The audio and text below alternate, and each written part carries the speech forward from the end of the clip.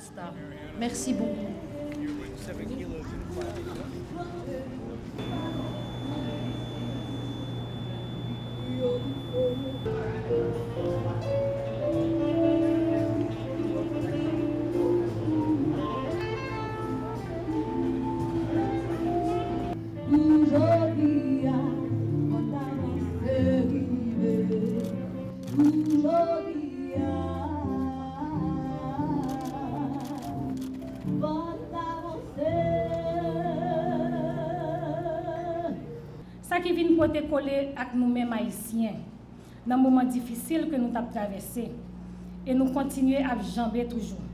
Nou di fami yo, zami yo, e yo menm.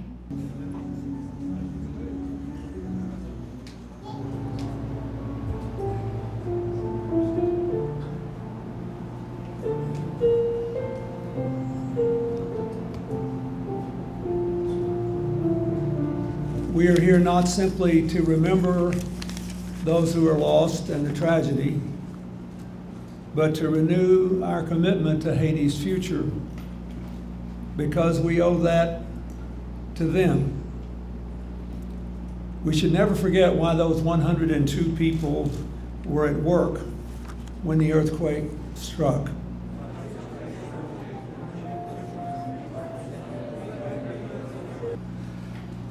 There is no better way to honor the memory of those who sacrificed so much than by carrying on their work.